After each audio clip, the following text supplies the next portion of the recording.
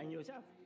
Die kanaal Travel to Seymour is oor ons mooi land en die stories daarin van die Karoo, Kalahari, Namakoland, die Vrystaat en die berge van ons land en klein dorpies wat vertel moet word. Ek is Gideon of ander mense noem my Oom G en ek reis deur die land en die wêreld om aan jou die stories te bring. Geniet die lewe, onthou, dit benodig guts, moed om jou droom uit te lewe. Doen dit nou. Vandag kyk ons na die onderpunt van die Weskaap se Weskus. Nie die Skure Eiland nie. Almal gaan na Skure Eiland toe. Klim in jou motor, ry 'n bietjie Riebeek Kasteel toe, Ceres toe, Piketberg toe en dan kom jy uit by ongelooflike deel wat so min mense na toe gaan. Laai plek, Velddrif gaan eet vis en chips by Velddrif. Ry na Sint Helena Bay toe, daar's 'n ongelooflike mooi koffiewinkel in Sint Helena Bay wat 'n donkie en so paar bokke ook het wat die kinders net kan sit en kan vryf en van daar af Langebaan Slippersbaai. Was iemand van julle al in Slippersbaai? Eiserfontein. Ongelooflike mooiste koffiewinkel, bakkery in Eiserfontein. Geniet saam met my en ek sal nou weer vertel van Eiserfontein se bakkery.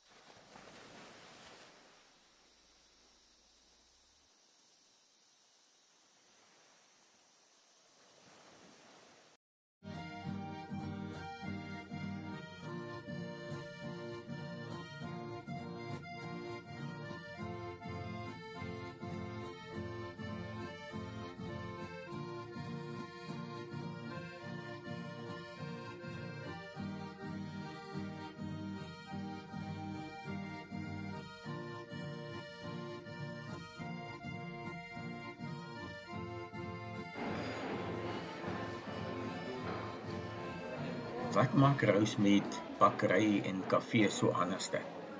As jy daar instap, kan jy sommer die menslike se vriendelikheid en alles voel. Die mense gaan soontoe sit daar en koffie drink terwyl die ander mense daarso pak. Die bakker groet jou ekskoot as jy inkom. Dis heerlikste om buite aandete om te eet. Portugese melktertjies. Wat spe spesiaal om my plek? Dis 'n kuierplek. Dit laat jou voel asof jy oor see sit in België of in Turkye een van daai koffiewinkels, bakkerye sit en net rustig sit en ontbyt eet of net som net eet en kuier. Deel agter die toonbank, jy kan sommer met hom gesels en dit is wat hier anderste is. Gaan en geniet dit.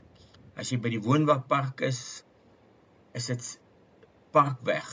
So een blok van die woonwagpark af by Fonteinstraat, daarso is Rosemead bakkery en koffiewinkel geniet dit.